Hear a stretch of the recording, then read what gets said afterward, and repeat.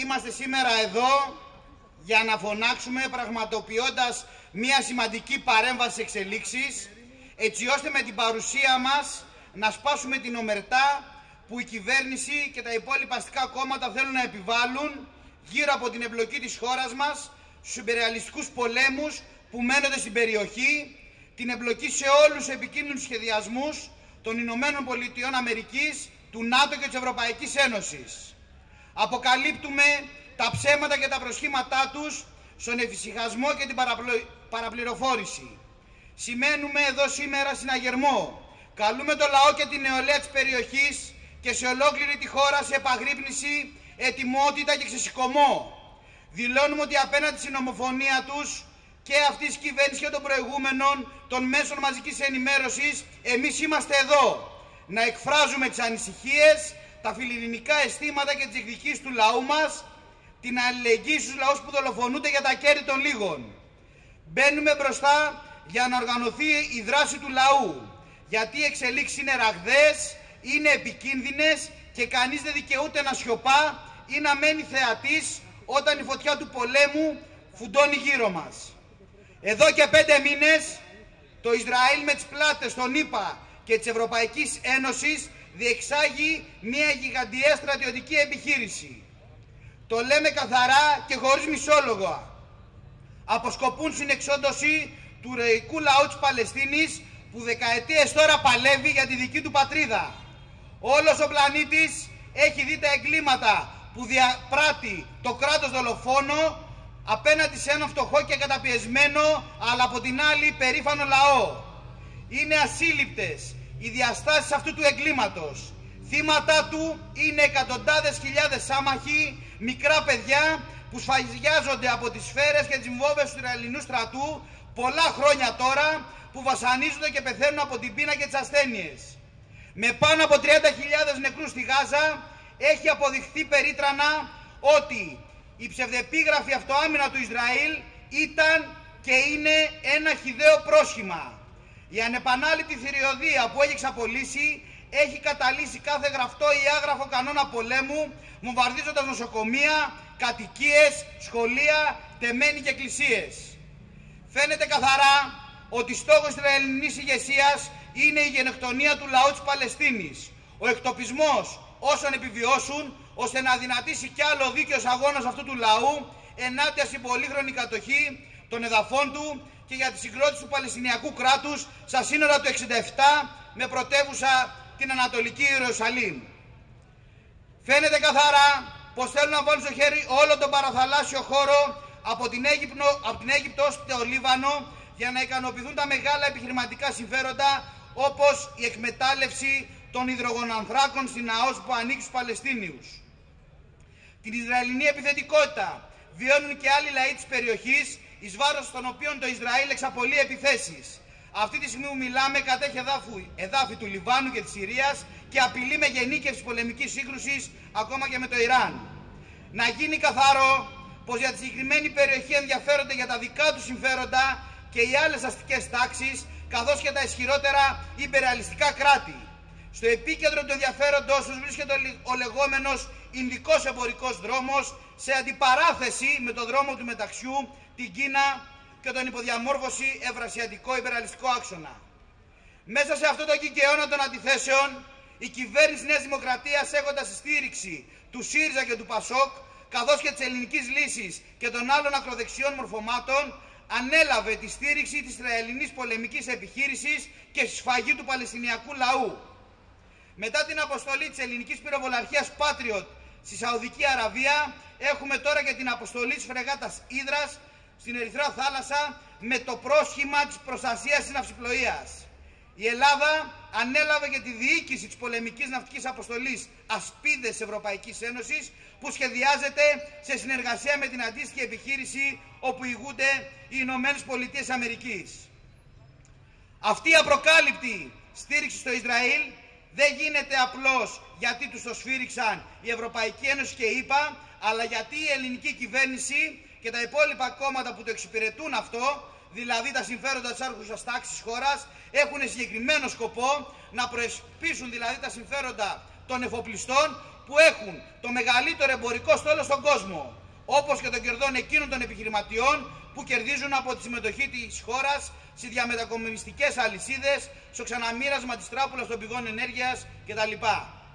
Για αυτά τα συμφέροντα δουλεύουν, για αυτά στέλνουν προσωπικό των ελληνικών ενόπλων δυνάμεων, παιδιά του λαού, στο μάτι του κυκλώνα.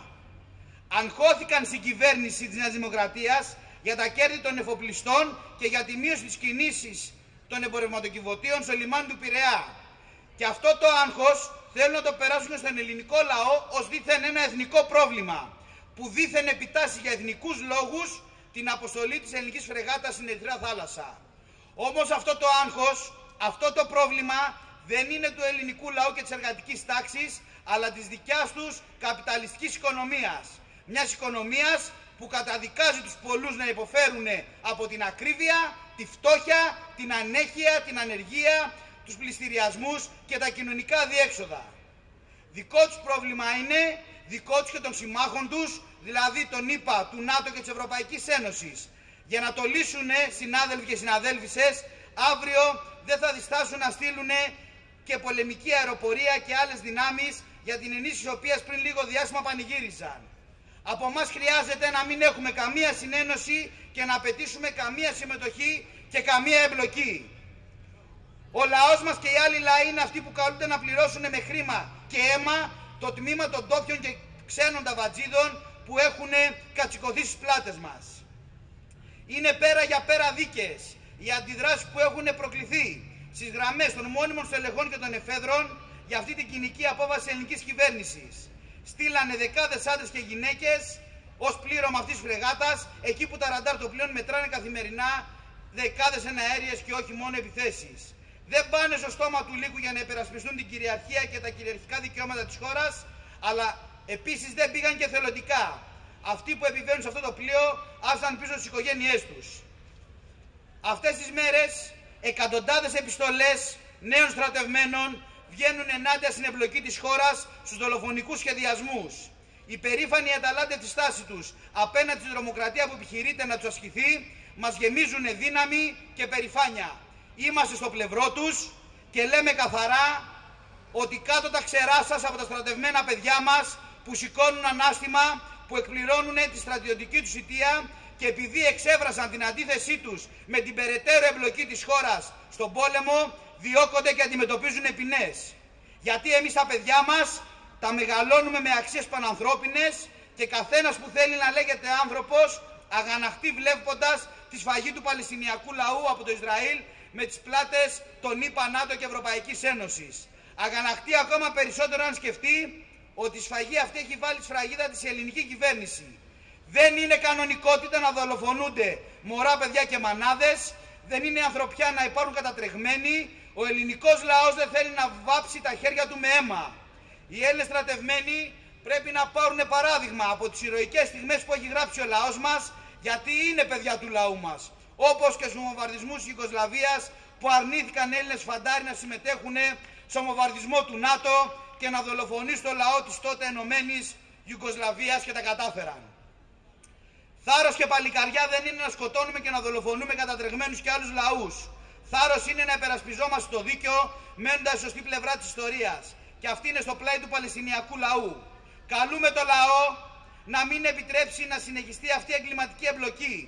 Να ενώσουμε τη φωνή μας, να μην υποκύψει στα ψέματα της κυβέρνησης ότι δεν πάνε εκεί στου χάρου τα δόντια για να υπερασπιστούν τα εθνικά συμφέροντα. Καμία συνένεση στη συμμετοχή της Ελλάδας στη σφαγή του λαού της Παλαιστίνης. Να αναγνωριστεί τώρα το Παλαιστινιακό κράτος καμία συμμετοχή των ελληνικών ενόπλων δυνάμεων στο πολεμικό μακελιό που στείνουν στην Ερυθρά θάλασσα και στον Περσικό κόλπο. Να επιστρέψει τώρα πίσω η φρεγάτα Ήδρα από την Ερυθρά θάλασσα και ελληνική πυροβολαρχία από τη Σαουδική Αραβία. Συνάδελφοι όμως δεν είναι μόνο η περιοχή της Μέσης Ανατολής που φλέγεται με ευθύνη και της ελληνικής κυβέρνησης. Εδώ και δύο χρόνια συνεχίζεται ο πόλεμος και στην Ουκρανία. Η φαγωμάρα τους Όμως, συνάδελφοι, δεν είναι ούτε για τη δημοκρατία ούτε για την ελευθερία και την αυτοδιάθεση των λαών. Είναι για το πώς θα μοιράσουν και εκεί τον ορυκτό πλούτο και όσα παράγουν οι λαοί. Απορρίπτουμε τα γελία προσχήματα που αξιοποιήθηκαν από την κάθε πλευρά του άδικου αυτού υπεραλιστικού πολέμου που σπρώχνει δύο λαούς, τον Ρώσικο και τον Ουκρανικό, να αλληλοσκοτώνονται για τα φέτη το φαΐ. Την ίδια λοιπόν ώρα που οι καπιταλιστές και τα μεγάλα μονοπόλια βρίσκουν ευκαιρίες μέσα από το αιματοκύλισμα και βγάζουν δισεκατομμύρια, μέσα από την οικονομική συνεργασία Δύσης και Ρωσίας, που διατηρείται σε πολλούς τομείς, ακόμα και τώρα, χιλιάδες νέοι άνθρωποι, κυρίως φτωχοί, για βιοποριστικούς λόγους και όχι μόνο, πάνε και σκοτώνονται. Συγγνώμη. Συμπέρασμα. Εκεί οδηγεί τους λαούς οι ακόρες στη δίψα των καπιταλιστών για νέα κέρδη. Η σύγκρουση του ευρωατλαντικού μπλοκ που χρησιμοποιεί την Ουκρανία ως αιχμή του δόρατος κατά της Ρωσίας. Και αυτή βέβαια με τη σειρά της μετατρέπεται σε αερόσακο του υποδιαμόρφωση ευρασιατικού άξονα και της Κίνας στη διαπάλη της τελευταίας με τη ΣΥΠΑ για την πρωτοκαθεδρία. Κλείνω με το εξής.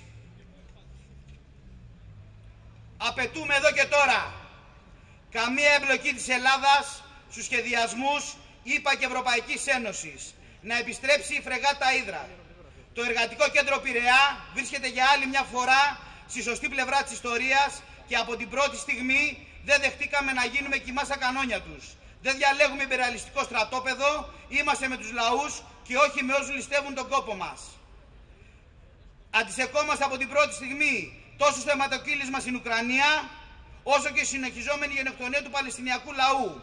Είμαστε εδώ για άλλη μια φορά, όπως θα είμαστε και πάντα, υπερασπιζόμενοι τα συμφέροντα της εργατικής τάξης όπου γης. Να δυναμώσει τώρα η πάλη του λαού μας ενάντια στους υπεραλιστικούς σχεδιασμούς. Τη μάχη αυτή τη δίνουμε με τον οργανωμένο αγώνα μας, μέσα από τα σωματεία μας, μέσα από το Εργατικό Κέντρο Πειραιά, ενάντια σε αυτή την πολιτική. Καλή δύναμη και καλή συνέχεια.